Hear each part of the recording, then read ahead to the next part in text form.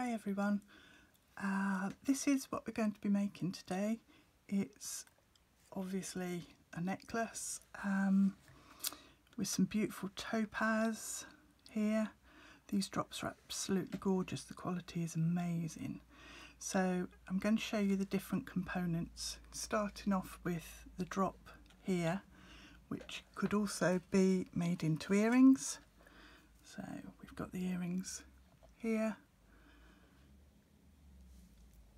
And you can make a smaller pair if you're not into the great big dangly ones, like this.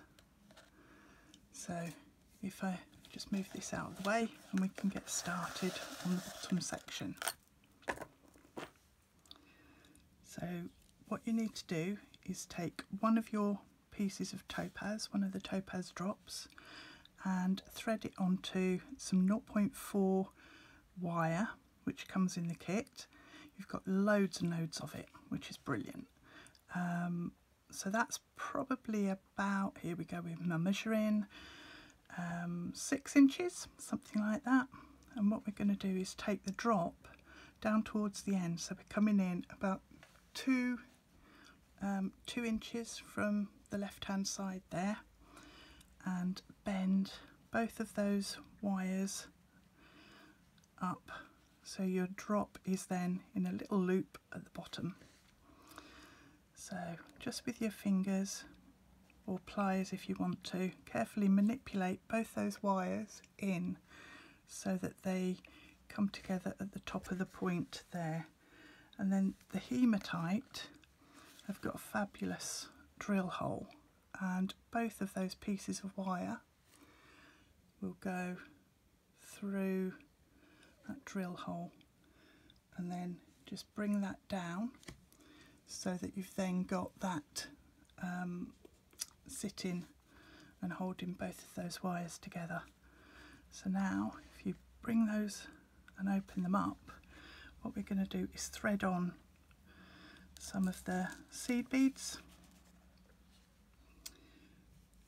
some of the hematite and some of your sodalite.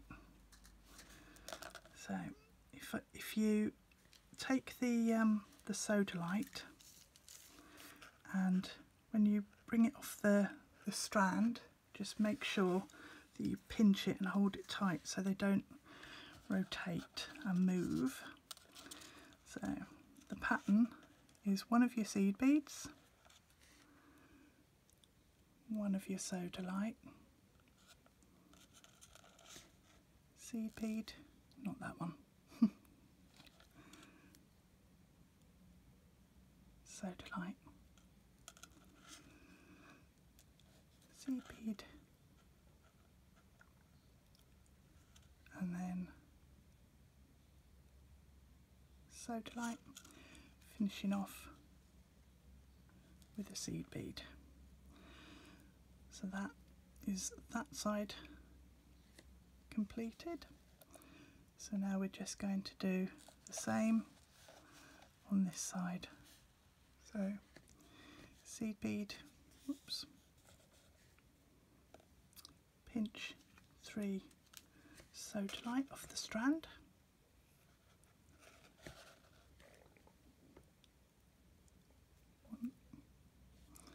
just be aware that your other side is obviously not connected up to anything and you could quite easily lose them all if you're not aware of where it's sitting. So I mean here I've got them pinched between fingers. And lost the hole.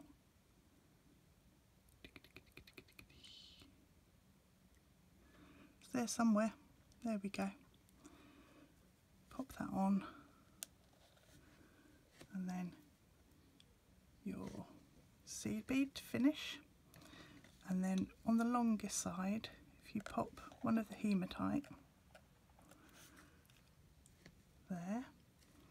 And then with the shorter side you can feed that also through that drill hole there. So when you pop those in just make sure everything's sitting nice and evenly along the wires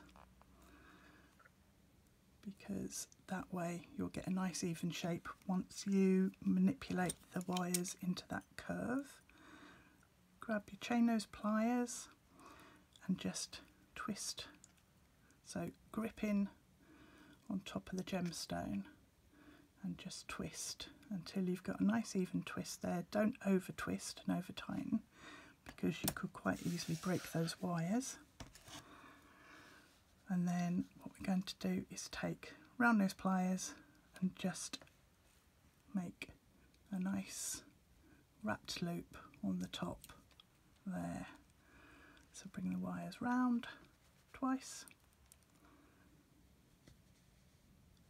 Kink that back and then trim off the excess. Now obviously the teeny tiny bit I can't use it again anyway because that is way too small but that larger piece there can be used um, for rosary linking which is what we're going to do next. So if I pop that down there for a second and what we're going to do is take some of the hematite, some of the sodalite and just rosary link. So starting off with the hematite, start to form your loop and then pop on that drop section there, finish off the loop.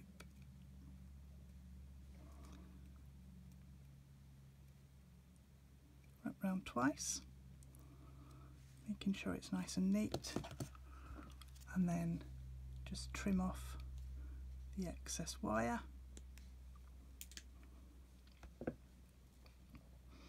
And that should be nice and neat there. So just make sure that you haven't got any pieces of wire still prominent and sticking out from that, that wrap. And then pop on your hematite. And finish off that little connector by doing a second wrapped loop. Just bring that round a couple of times and trim it off. So repeat that process with the um, sodalite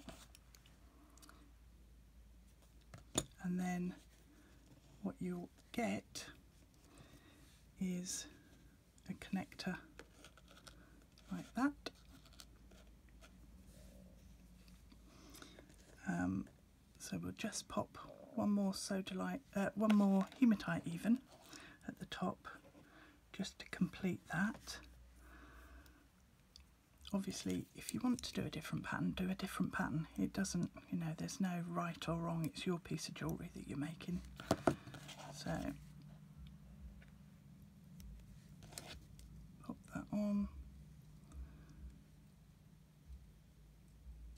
make the loop there, nice and neat. Trim that away, that feels cool.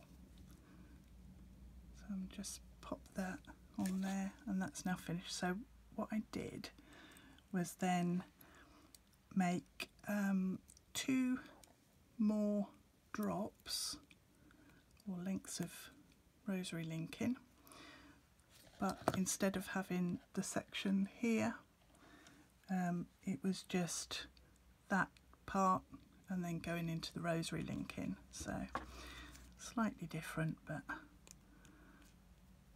still very effective and again would make fab earrings if, if you didn't want anything quite as um, intricate as that. So once you've got your um, section made all you need to do is pinch those two centre sodalites on either side and give it a little tug and you end up with that loop there which is um, then open up and it's the wire is strong enough to hold. It doesn't sort of bend or move or anything once that's made.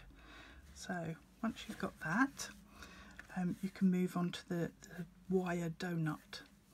So to do that if I pop that to one side and then what you need is your 0.4 wire. So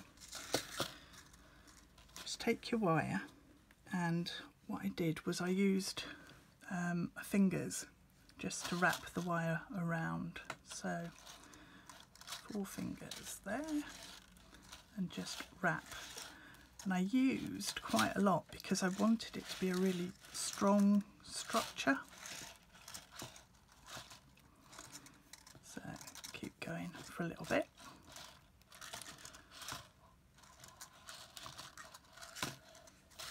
That's coming up to about half the reel. And then um, try and keep it so that the strands wire are all running in the same direction. You've not got crisscrosses.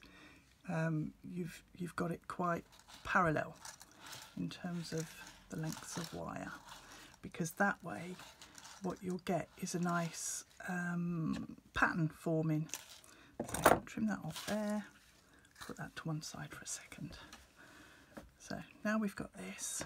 I'm just going to pull out the tails on either end because we can use those. Okay, and then what I did was open it up so it's a bit more round, but you can already see here how you've got nice um, lines coming round. So try and keep that. So support either end with your thumb and your finger and then twist like that. So vaguely in the centre. It doesn't have to be perfectly in the centre because obviously that wouldn't be a piece of my jewellery. That'd be somebody who measures stuff. Fold that over like that and you've got then a lovely um, almost uh, like a is it um, infinity loop but turned in on itself almost. So that's really nice. I like that the way you've got the, the wires that twist around and follow that pattern. And then with these two tails that we've kept, what we're going to do is follow that around here, but then poke the wire through both of those layers. So you might need to give it a bit of a wiggle to get it through, but you want it to disappear into these lines. You don't want to be able to see that particularly. And all we're doing with that is holding those two layers together. So it's a really simple thing to do. Um, just take your time, make sure that everything's sitting nice and evenly and you're not distorting the, the shape, the lines, the patterns that you've just put in there. Flip it over if you need to. Work on that side. So just carry on and stitch through. Now if you make a decision on which is the back and which is the front, you don't need to worry then if this side isn't quite as neat as the front um, because you'll get little areas like that where we've gone across the line because I want to move across so that I can then tack a different area together. So just focus on keeping the front really neat. Poke that through there. So once you've got that tacked basically in position so it's not completely fixed, what you need to do is um, bend it. So just use your thumb and your, your finger and just manipulate those wires. So if you press and ease them, you'll start to get a slightly domed shape, which makes it look a lot more um, generous, I suppose, in terms of the, the amount of wire you've got there. So now what we're going to do is take some more of the gorgeous topaz drops and as you can see on this piece I've started stitching them in in sections around the the um, metal donut, the wire donut. So all you do, wherever you've got sort of an overlap or a ridge, you can then just use that as a guide to pop your topaz into. So all you do is bring that wire back through if it wants to go. If it doesn't want to go, take it out and try again. So we're going to get that feeding through and I can see it, it's come through there. So what we're going to do now is get one of the, the topaz. So you may need to just smooth that wire out on the end to get your topaz drop on. If it doesn't go because you've buckled the wire up and everything, um, then uh, just trim the end of the wire off and, and you'll be fine. Because you can always add in with this. It's, it's um, one of those designs where you don't need to make sure you've got enough wire to start with because you can add in. So just bring that here. Make sure that the, the point of the gemstone is actually buried in those loops there and then bring the wires round. And so as you're doing this what you're also doing is reinforcing those layers and stitching together those two layers that we created. So bring that round and then up through that next layer. So I can then start to stitch in around the top. And also the other thing that I did was thread loads of the um, little seed beads onto the 0.4 wire um, so that creates almost like um, a thicker wire because the colours match so nicely with the wire that we've got. It's um, it's lovely that you can then use that and it looks just like a, a detail, like you've done some magical wire weaving or something and created this texture. Right, that's not going to go through, is it? Because I've folded up the ends. So what we want to do with this is just draw around the, um, the shape, the donut, and layer up add additional textures and lines into this. So I just bring that round, it defines that movement of the wire there. So I'm going to bend that down just so that it's running in the opposite direction and almost forms a hook here. Um, just so I don't end up pulling it all out. So I'm coming between those two topaz there, round to the back. And then what I did was I took the loose wires here, well not loose because they're attached, but the wires here,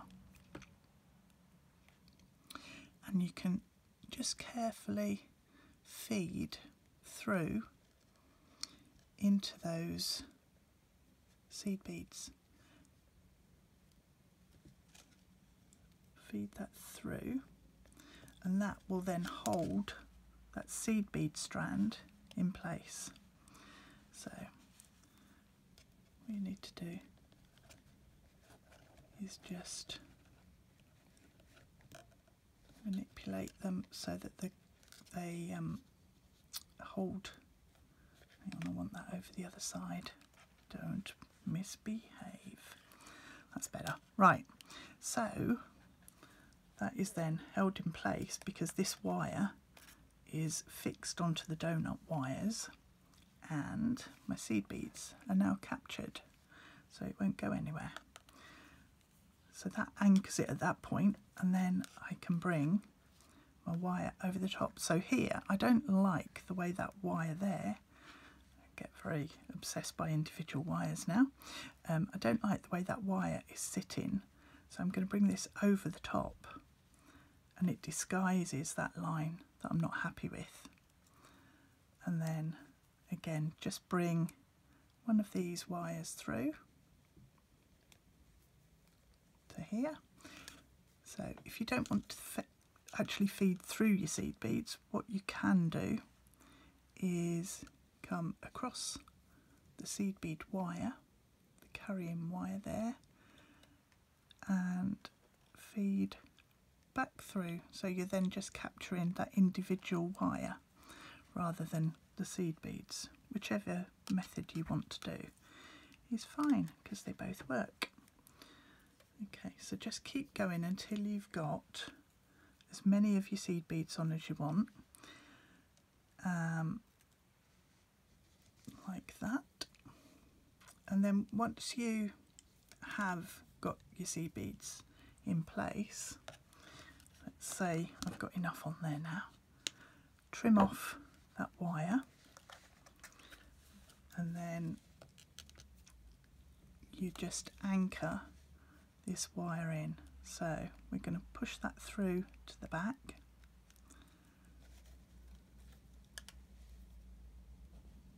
There. And then I'm just going to work that into that donut of, of wires and that will then fix in position and not go anywhere. We won't lose any of the seed beads. So on top of that, what I did to add even more movement and texture in there and embellishment was the the wires that we've been using to fix and everything, join stuff together.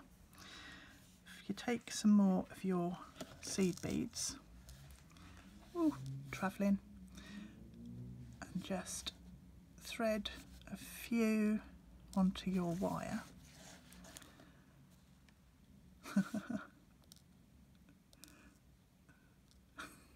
That's like um, borrower's tiddlywinks, isn't it? Tiny, teeny tiny tiddlywinks. Right, pop a topaz on, and then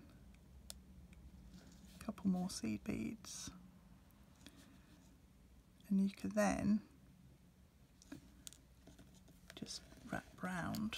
So it's another way to join on with um, topaz. Just build up your layers there and work those wires in. So the final piece of this would then be take the um, the drops that we made, the rosary linked sections, and attach those and then also create um, the bail section in effect. So if I bring that in, all we need to do now is pop these sections on and create this to hang it onto either a chain or a gemstone necklace. So if I say I'm going to use this wire here for the, the bail section and I'm going to use the wire here at the bottom. So just move that round, bring that down in a line to the bottom section here I'm just going to feed it through so it's in position to be able to attach the dangly tassely section. So all you need to do is thread through the end link on there and then push that back into the donut and do that for each length of, um, rosary linked chain that you want. Sometimes it doesn't want to behave and go through but what you can do if you straighten it out is if you just take a pin and then push through just creates enough of a gap for your wire to go through There we go. So make sure it's nice and close to the actual donut swirl and then carry on do your, your additional two drops there and then at the top all you're going to do is repeat what you did um, with the there's the other wire that I'm going to use. Repeat what you did for the drop at the bottom there. So take your hematite pop that on there. So remember to put both the wires through. And push that down and then you open it up and just carry on making the um, the triangular section at the top and the loop. And then once you've you've got that all I did was use beading thread to thread through um, creating the pattern with those those seed beads in between each of the gemstones.